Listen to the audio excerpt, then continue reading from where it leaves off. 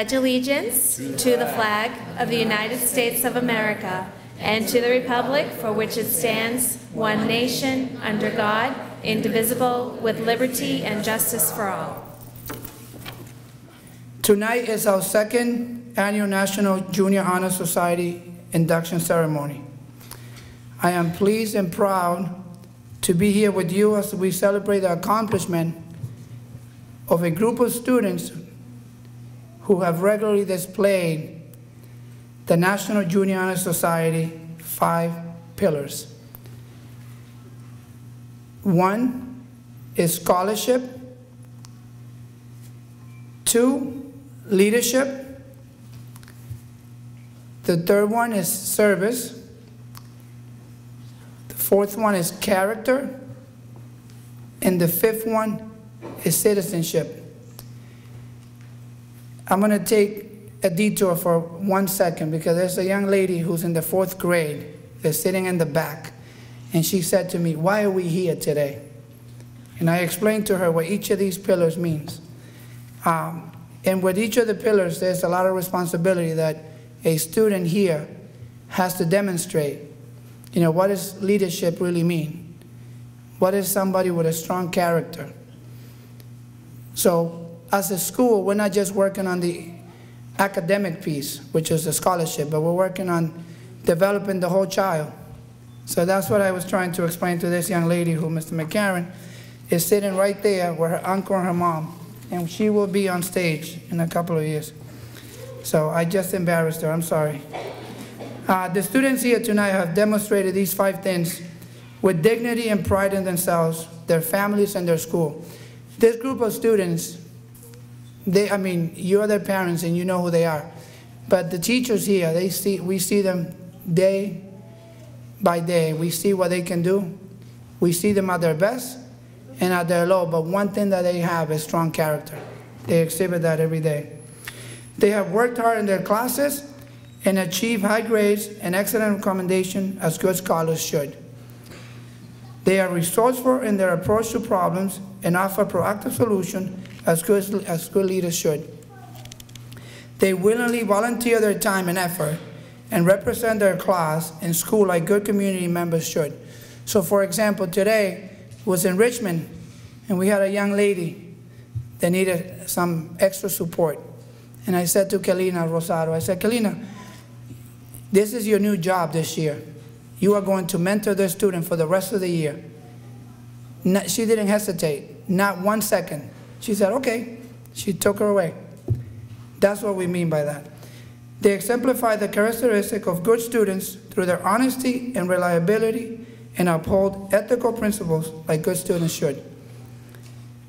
They understand the importance of civic involvement and demonstrate a high regard for the principles of freedom and justice for all as good citizens should. Tonight, you are here to participate in the induction of a group of students who I am proud to be able to, to say attend the Guilmette Middle School. Their teachers are proud. I'm sure you as their parents are proud as well and I hope you are very proud of yourselves. So, esta noche estamos celebrando el honor y el esfuerzo de estos niños que tenemos aquí. Ustedes como padres y madres saben quién tienen en su casa. Nosotros lo vemos en lo alto y en lo bajo. Pero ellos exhiben diferentes caracteres, eh, no solamente en la área académica, sino en todas las áreas que una buena persona debe demostrar en nuestra sociedad. Eh, es un honor para mí y para los maestros que están presentes aquí. Eh, ahora voy a tomar otro momento para introducir a Miss Pash y ella la voy a llamar al podium para que diga algo a ustedes. So, Miss Pash, uh, I promised the parents that you were going to say it all in Spanish. So hello and welcome again to Guilmette Middle School. Tonight is our second annual National Junior Honor Society induction ceremony. Um, I'm really proud to be here with you as we celebrate the accomplishments of the students who regularly display our National Junior Honor Society's five pillars. So there's five kind of pieces of this work that they're interested in and that they're being recognized as being part of. Scholarship, they're super smart. Leadership, they lead, and that doesn't mean they always have a leadership position. It might mean they lead, like uh, Dr. Reynoso's story today with Kalina. Service, so they provide service to the community. We do that inside the school, uh, and also they do that in their personal lives. Character, that's a critical one. Character is who they are as a human being, how they treat other people, and how they view themselves. I almost view that like as if you don't have that, you're not part of this group. So that you're here today, this is pretty huge. Don't ever lose that with all of what life gives you. And then citizenship. Citizens of our school, of our country, of our city. There's many things we're citizens of, of your family. It's really very important. The students here tonight have demonstrated these five things with dignity and pride in themselves and their families and their school. They've worked hard in their classes and achieved high grades and excellent recommendations as good scholars should. They're resourceful in their approach to problems and offer proactive solutions as good leaders should. They willingly volunteer their time and effort and represent their class and school like good community members should. They exemplify the characteristics of good students through their honesty and reliability and uphold ethical principles like good students should. And lastly, they understand the importance of civic involvement and demonstrate a high regard for the principles of freedom and justice for all, as a good citizen should. Tonight, you're here to participate in the induction of a group of students I'm really proud to be able to say they, they attend the Guilmette the teachers are proud, and I'm sure you as parents and family members are proud, and I hope you're very proud of yourselves.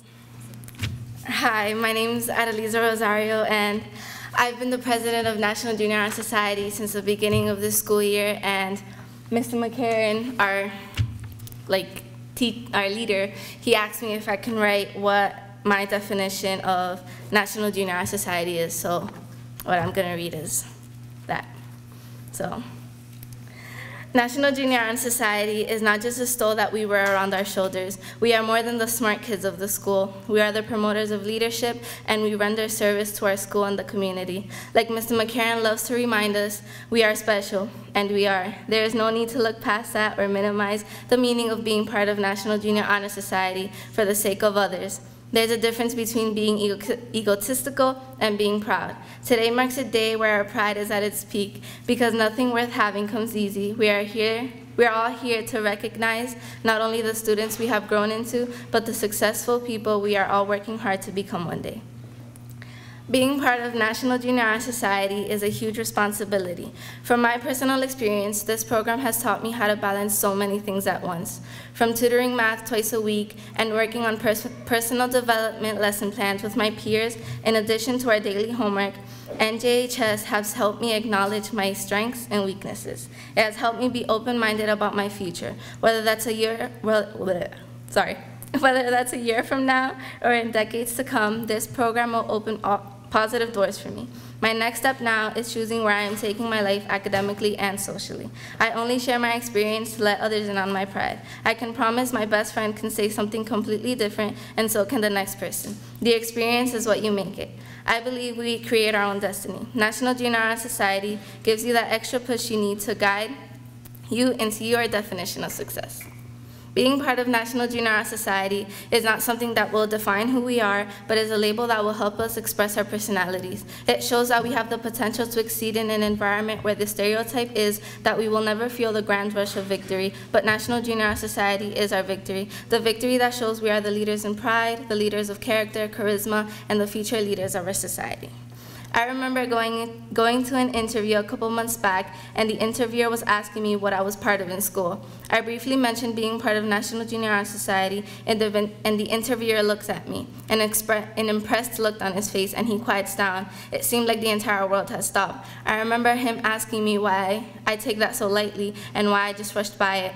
I had no answer then, and I have no answer now. All I know is that that ignited the spark in me, which helped me understand the seriousness that comes with National Junior Honor Society.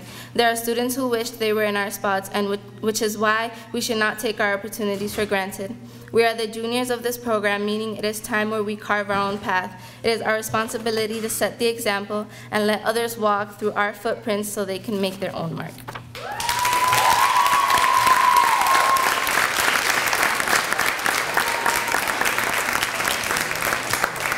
Thank you, Adelisa. The next part of the program is the lighting of the candles.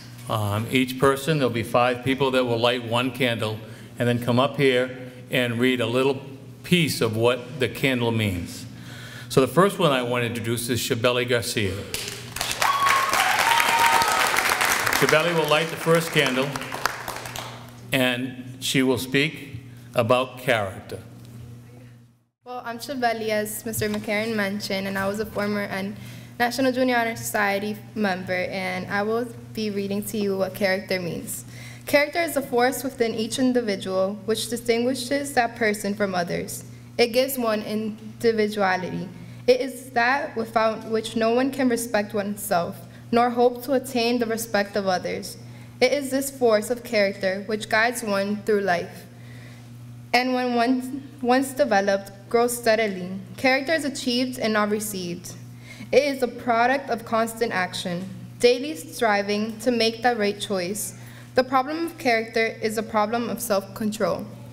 We must be in the reality what we wish to appear to others. By demonstrating such qualities as respect, responsibility, trustworthiness, fairness, caring, and citizenship, we may hope to prove by example that we value character.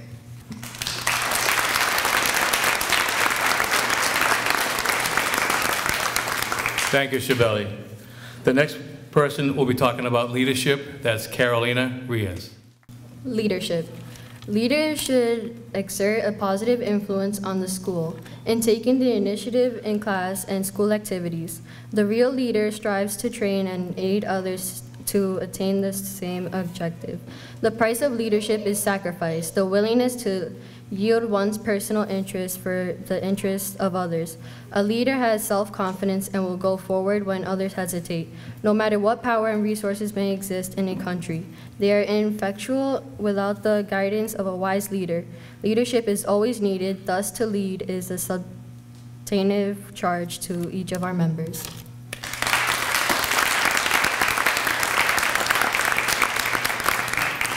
Thank you, Carolina. The next one to talk about scholarship is Adeliza Rosario. Scholarship means a commitment to learning. A student is willing to spend hours in reading and studying, knowing the lasting benefits of a cultivated mind. We should continue to learn even when formal education has ended, for education ends only with the end of life. Knowledge is one great element in life which leads to the highest success, and it can be acquired in only one way through diligence and effort. Learning furnishes the lamp by which we read the past and the light which illuminates the future. Candidates have the charge to continually expand their world to the opportunities inherent in scholarship.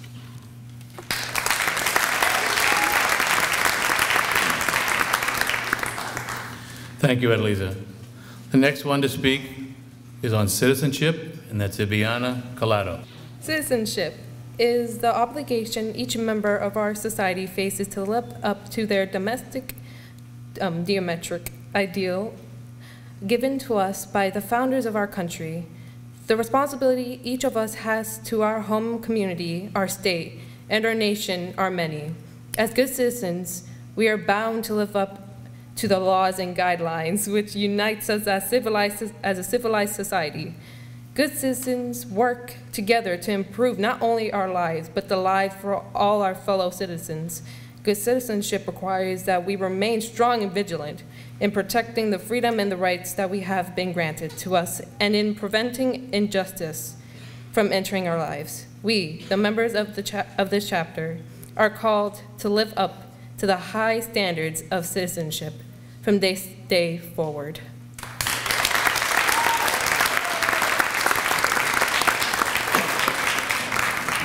Thank you, Aviana. Uh, the next one is services, and that's with Lisa Lee Paradis. Service. Service can be described in various ways. In the routine of day's work, many opportunities arise to help others. Willingness to, help, to work for the benefit of those in need without monetary compensation or without recognition is the quality we seek in our membership. We are committed to the idea of volunteering our time and abilities to the creation of a better tomorrow.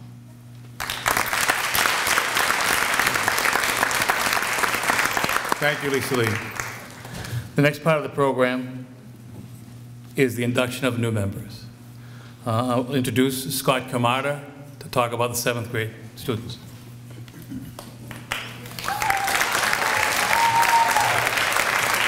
Good evening, everyone. Um, the first inductee from the seventh grade will be Sandra Ariola.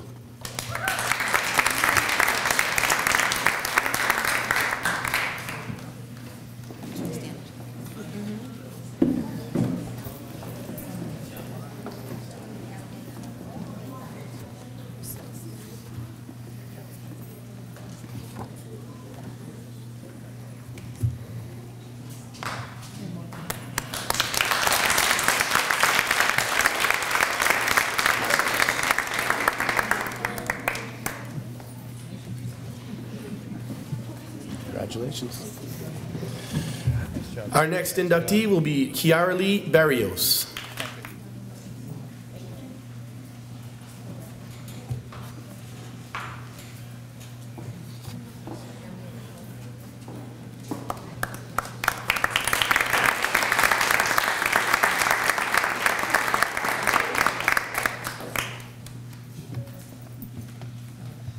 Next, we have Alex Boo.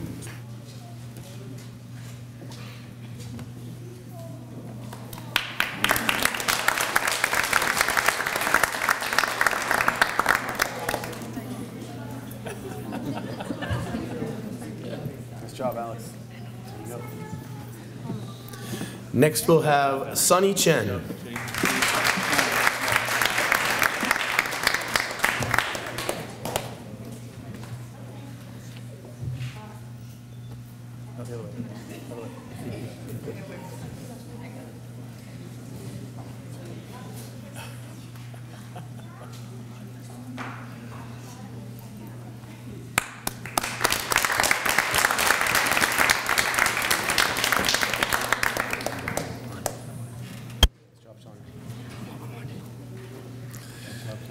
Next, we have Andrea Descent.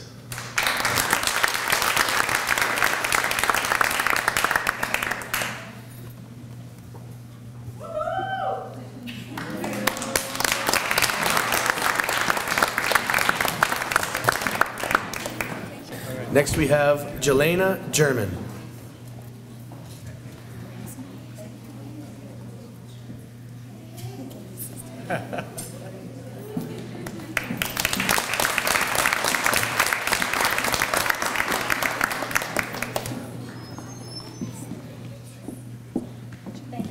Congratulations. Next, we have Darlene Gomez.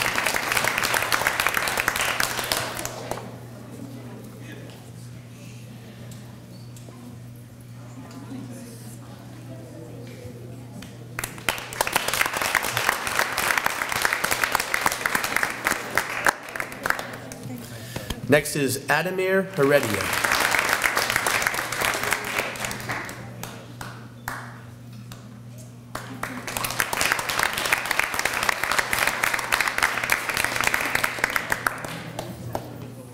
Next is Celeste Lozada.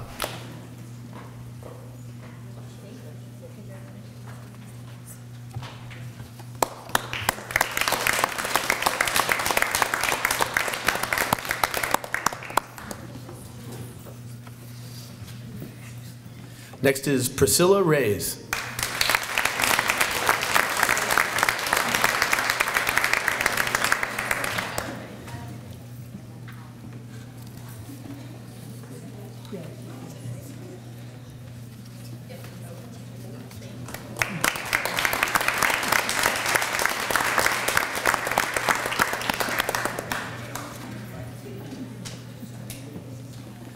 Next is Jeleni Rojas.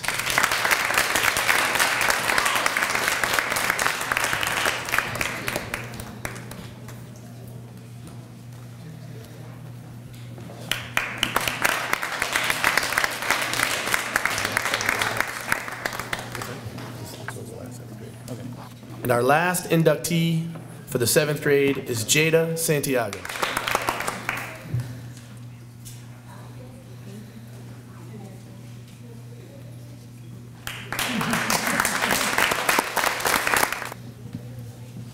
Nice job, Jada. And for the eighth grade, we have Griselde Canario.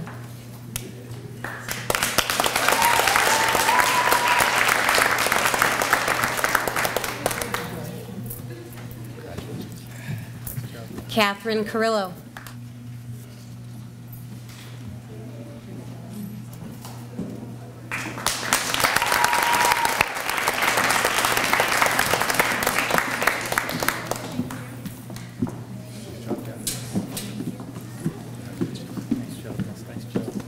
Esbalni Gonzalez.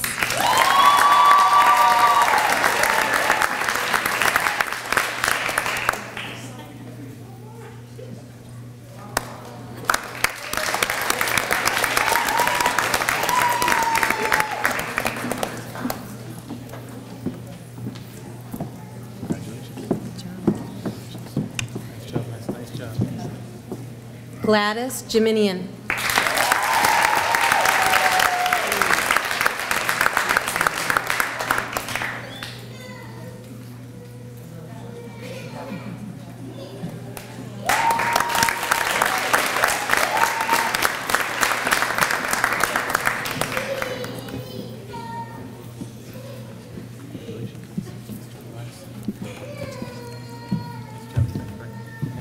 Mayeli Lopez.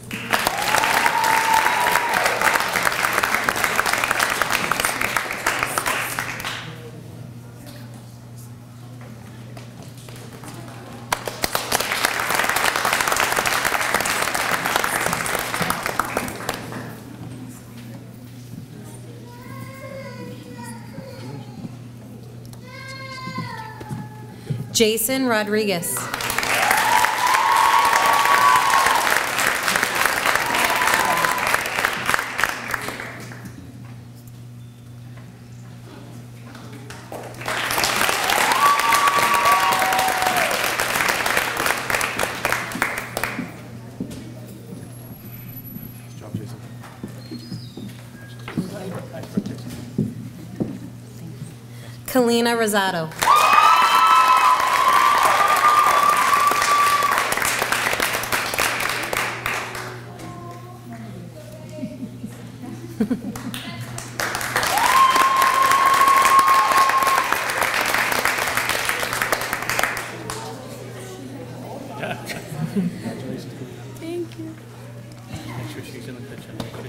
All right?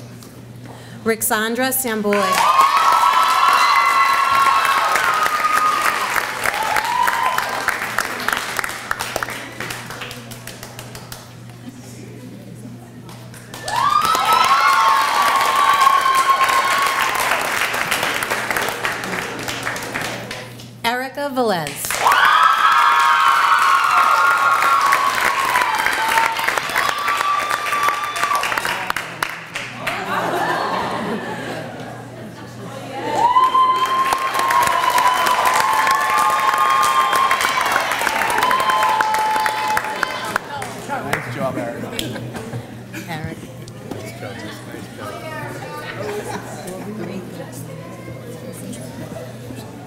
Thank you, Ms. Cludier. How about a round of applause for all of our inductees?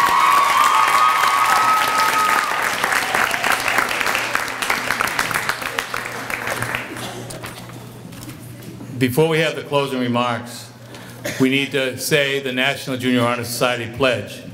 So would everybody, oh, the inductees stand up, please.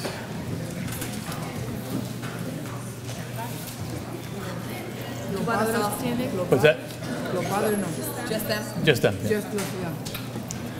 You ready? I pledge myself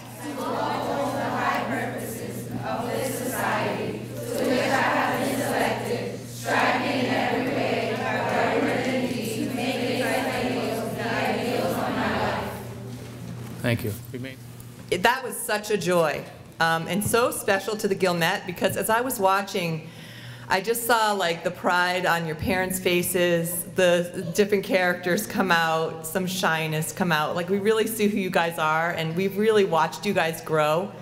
And boy, isn't that the proudest thing as, you know, teachers and staff at this school to see. So we're really proud of you and that was just a, a moment I'll think about before I sleep tonight and be very proud of you. So thank you for that.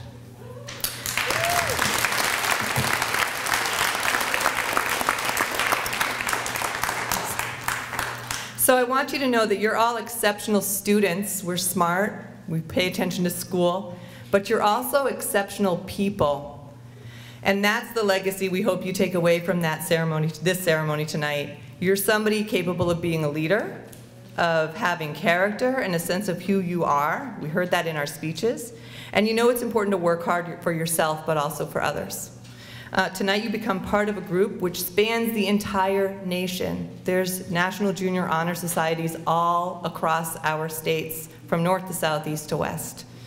It's a group that has the ability to change school, the city, and the world into a better place. So really think about that. As uh, we shared today in that interview when somebody said, why are you glossing over this National Honor Society thing? It's a big deal, guys. So remember that and uphold its, it, the five pillars, please. I know you will.